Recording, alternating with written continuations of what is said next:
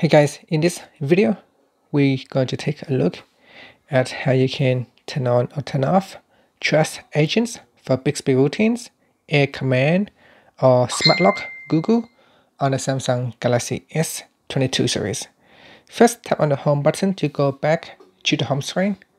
Then swipe down at the top and tap on the settings icon. In settings, go down and tap on biometrics and security then in here, we want to go down to the bottom and tap on other security settings.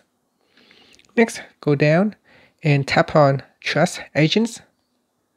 And if you want to turn on or turn off the trust agents for Bixby routines, just tap on the toggle button to turn them on or off. The same for Air Command or Smart Lock Google, so just turn them on or off.